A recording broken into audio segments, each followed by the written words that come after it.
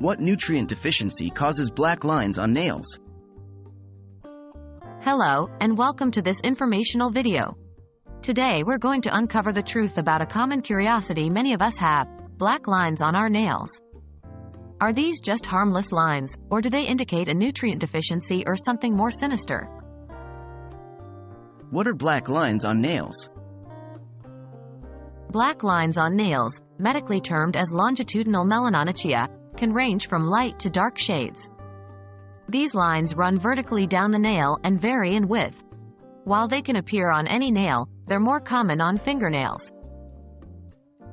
Is this a nutrient deficiency? Here comes the crucial question.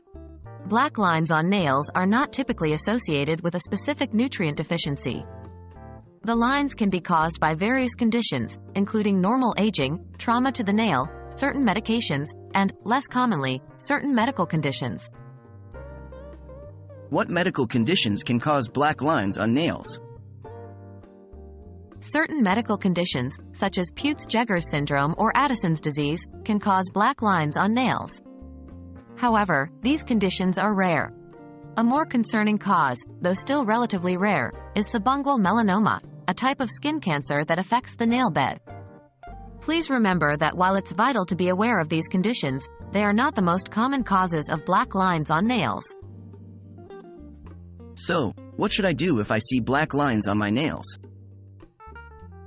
First and foremost, don't panic. Seeing black lines on your nails doesn't mean you have a severe health issue. However, if you've noticed changes in your nails, such as new or changing lines or discoloration, it's always a good idea to consult with a healthcare provider. They can assess your overall health, examine your nails, and if needed, recommend further tests.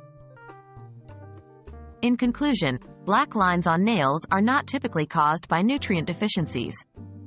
While they can sometimes indicate underlying health issues, more often, they're harmless. Still, it's always a good idea to consult with a healthcare professional if you notice any changes to your nails. Thank you for watching, and we hope you found this video informative and helpful.